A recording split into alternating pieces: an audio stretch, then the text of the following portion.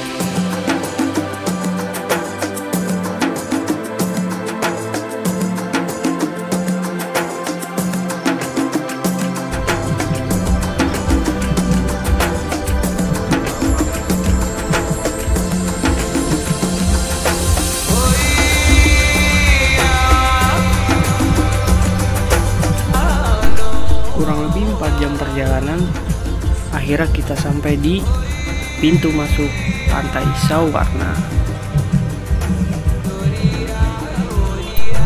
Untuk parkirnya 25.000 dan tiket masuknya 5.000 direkomendasikan untuk mengenakan ojek karena perjalanannya lumayan jauh untuk ke Tanjung Layar